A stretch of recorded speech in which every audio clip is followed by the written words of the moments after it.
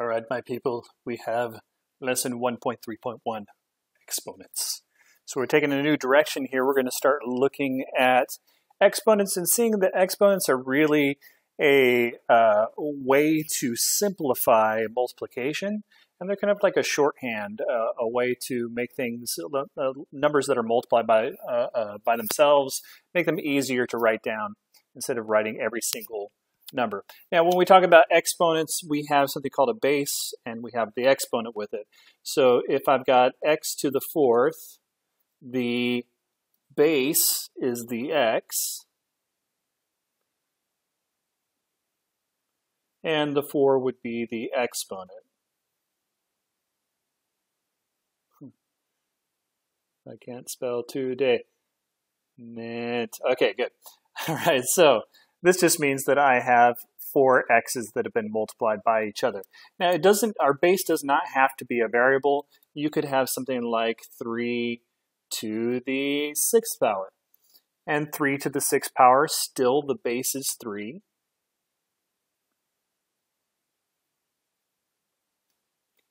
And the 6 would be the exponent. And we're going to even see later on that you could have the exponent be the variable if you wanted to. So the exponent can go anywhere. The base doesn't have to be a variable. Remember, this does not mean 3 times 6 and you get 18. It means 3 times 3 times 3 times 3 times 3. It's just a lot of 3's, okay? So when we expand it, what we just want to see is that we can rewrite it in the unsimplified form. So for instance, y to the seventh just means y times y times y times y times, should have used a smaller number, uh, times y times y times 1, 2, 3, 4, 5, 6, times y. Okay, now you see why they use exponents. This would be ridiculous to have to write down if we didn't have exponents. The next one I've got 5, and then times the quantity 2 to the third.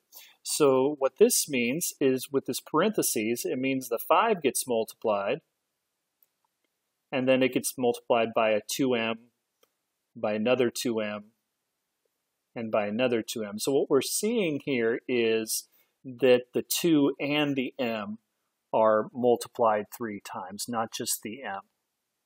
So 5 times 2m times 2m times 2m. So on the next part, we've got x to the third raised to the second. So this means that this is x to the third times x to the third. But we still have exponents in here, so this isn't expanded. So then this x to the third becomes 3x's. And then the other x to the third becomes 3x's. So what we're really talking about is six different x's. And a lot of people will think, oh, this answer is x to the fifth. No, if you expand it, you see that you actually have six x's there. The next one, we have x's and y's. So this is 4 times 5 x's. So x times x times x times x times x. Gosh, it's x's. And then only two y's. Oh, thank goodness. y times y.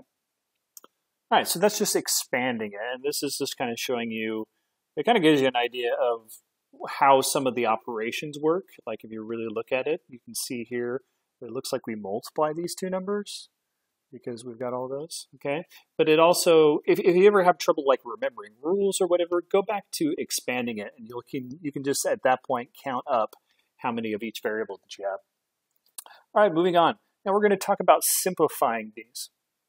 Now, in this particular problem like this, I don't really like this because if I had to plug in numbers or something, I got to plug in the x here and I got to plug in the x here. I'd have to plug in the y here and I had to plug in the y here. Like if I was evaluating for something. So when we simplify, we only want a single x variable and a single y variable, but I have multiples of them. But what we can do is use the power of 1 to simplify some of this. Here's what I mean. On top, I've got an x and an x. My goodness, is that 8 y's? It is. I got to rethink some of these problems. Okay, 8 y's. Y, Y. There's 4. 4 more. Y, Y. One, two, three, four, five, six. Two more. Y, Y. All right, so those are all in the numerator. I've got all of those variables in the numerator. In the denominator, I've got an x right here, and that goes with that one. I got no more x's, and I got two y's. So I'll put a y under this one and another y under this one, and I've got no more y's. Now look what I have here. x over x, that is the number 1. So this becomes 1. y over y. I should really practice how to make my 1s because this isn't very good looking. Oh well, y over y, that's 1. You get the point. This one also becomes a 1. Oh, I'm out of practice. So basically, this x over x becomes 1, this y over y becomes 1, this y over y becomes 1, and anything times 1 is 1, so we can ignore those. And now what are we left with? Well, I'm left with 1x on the top,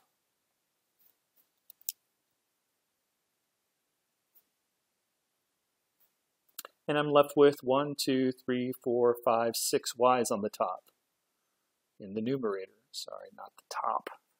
Sounds poor. All right, so uh, over 1, or we can just say x times y to the 6. So you can kind of see what's happening here is it looks like we are subtracting the exponents when we do that. Uh, next problem is we're going to look at all of these other ones and reduce them. Okay, so I would suggest that you try to break them down and then try to get some ones out of the way so that you can reduce them a little bit. The first one's pretty simple. The last one is going to be a little bit harder because we've got some numbers there, but uh, I think you should be able to do that. All right, so try it out. I'm going to hit the pause button and then write down my answers. All right, here's my answers. So the first one, I've got an x over an x, so I made a 1 over there, and all I'm left with is two x's in the numerator, so that's x to the second. For the second one, I got a little tricky. I didn't follow right in all of those x's. So I knew that x to the fifth could be split up into x to the second and x to the third, because there's still five x's there. There's two here, there's three here. So then I just put x to the second over x to the second, and now all I'm left with is x to the third and y. So my answer is x to the third times y. For this one, I did the same little trick. I turned y to the, or w to the third into w to the second times w, because there's still three w's there. And then I had a w to the second, so there's my big one, so I can get rid of them, because one times anything is just the number. And then I'm left with a w and five more w's, so I've got w to the sixth. On the last one, with those numbers over there, the 16 and the 8, I saw that 16 was 8 times 2, so I split that one up into 8 times 2. And on the bottom, I have the 8 to make the 1 there, so those kind of cancel each other out. And I'm left with a 2. And then I split up z to the third into z to the second and z. So there's still three z's there. And I've got a z to the second on the bottom to make a 1. So all I'm left with is 2 times z. And my answer is 2z. This same process you can probably you probably done or you will do in your science classes, especially when you get to chemistry. So scientific notation follows the same exact uh, the same exact process basically. So in this one, when we have 12 times 10 to the ninth, we can split this one up into 12 is 4 times 3 and then times 10 to the ninth. So I've got three tens on the bottom. So I'm going to call this 10 to the third times 10 to the sixth. So I still have nine tens up there. On the bottom, this is going to be 4. I don't have any other numbers on the bottom, so that's just going to be a 1. My 10 to the third is going to be 10 to the third. And then this is just a 1 because I'm all out of it. So I got 4 times 10 to the third on the bottom, and then 12 is 4 times 3, 10 to the ninth is 10 to the third, 10 to the sixth. All right, so using the big one, I can get rid of that section because that equals 1. 4 divided by 4 is 1. The 10 to the third and the 10 to the third cancel each other out because 10 to the third divided by 10 to the third is 1. So what am I left with? I'm left with 3 times 10 to the sixth. So my final answer is 3 times 10 to the sixth power. All right, let's look at the next one. A little bit tricky. So what does it have up there? Well, it's got squaring. So this is 8 times 8 times 10 to the third times 10 to the third. I got two eights and I got two 10 to the thirds. On the bottom, let's see, I've got a 10 to the first, I got 4 times 10 to the first. All right, now that I've broken it down like that, let's split these up into ones. So this 8 can be split up into 4 times 2. So that's what I did with this first 8 right here. I split it up into 4 times 2. And I'm going to write my other 8 because I didn't split that one up. Okay, so on the bottom, I've got a 4 from right here, and then I've got a 1 and a 1. Now let's look at our powers of 10. So I've got a power of 10 to the first on the bottom. Well, this one is 10 to the 10 uh, three times. So I'm going to do one of the times here and then make it 10 to the second. So now 10 to the first and 10 to the second, there's still three tens being multiplied. So that's this one right here. So this one became these two. And then there's no more tens on the bottom in the denominator. I keep calling it the bottom, I'm sorry. All right, and then we've got 10 to the third over 1. All right, let's look at our ones. I've got a 1 here.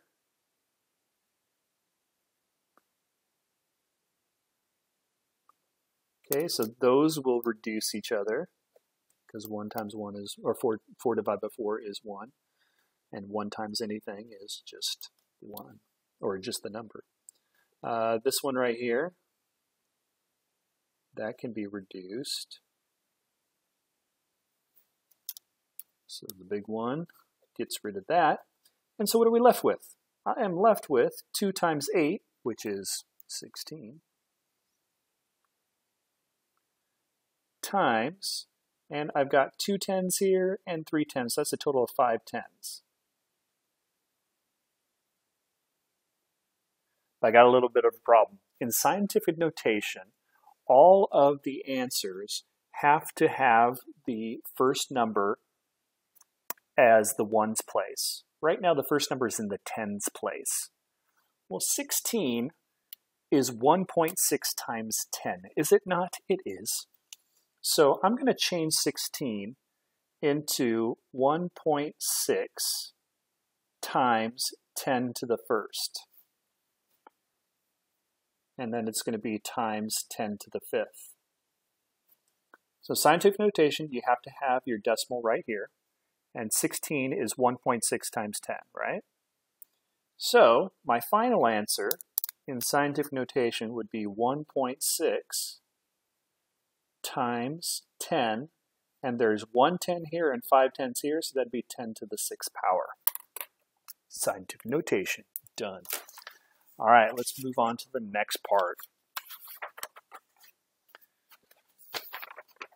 Okay, there are some errors on these problems. Let's see if we can find them. Okay, so the first one, they're saying that h to the third, h to the fourth, and k should be h to the 12th times k. So is that true? Well, I've got three h's here, four h's here. That's seven h's. But here, they've got 12 h's. Way too many h's. So that is incorrect. Because they multiplied the exponents. and it looks like they should have added the exponents.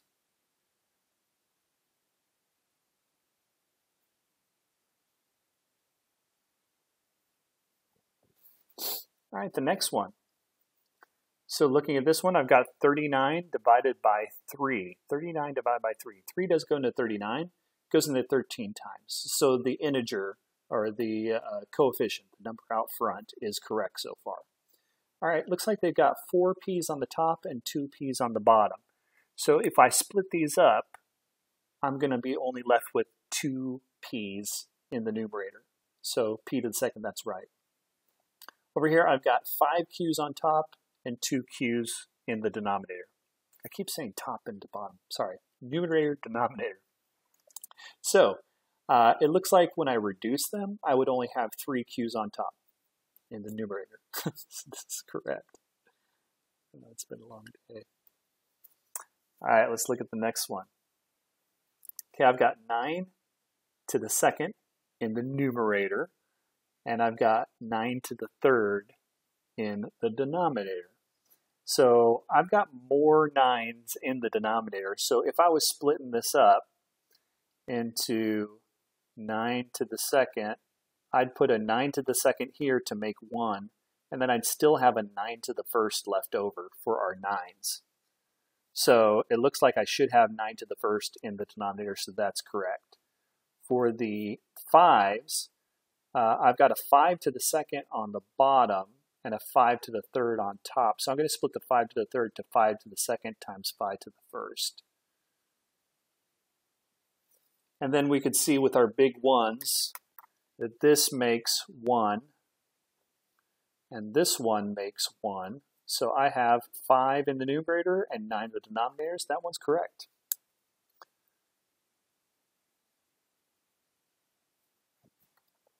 All right, so go down through the rest of them and go ahead and try them out.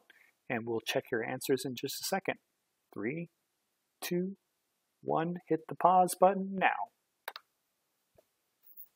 All right, let's take a look at what we got here. So we ended on the C, right? So we go to part D, and this one's incorrect. See how we started with a base of 3? We're counting how many 3's that we're multiplying, not how many 9's we're multiplying. So the bases, it looks like, don't get multiplied here. So that base should be 3. It should be 3 to the 7th. Part E, uh, this is actually correct, except they didn't give their answer in scientific notation. Um, so if you start with scientific notation, usually you're supposed to leave the answer in scientific notation. So 18 is the answer, but that would be 1.8 times 10 to the first, because remember you're not allowed to have um, a the first number be in the tens place. The first number has to be in the ones place.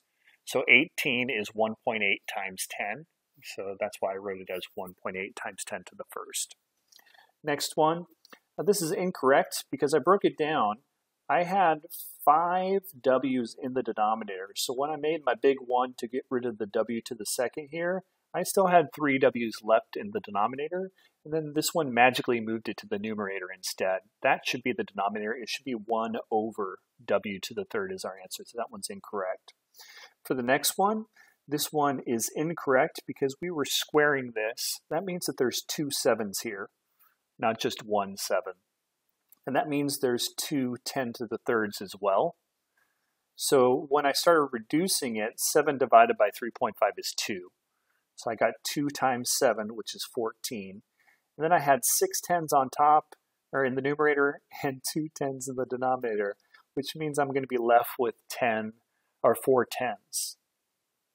And then this is not in scientific notation. Remember, we need to have the first number be in the ones place. So I changed this to 1.4. Remember, it's 1.4 times 10. So I needed an extra 10 over here uh, for scientific notation to work. This one over here, I broke it down.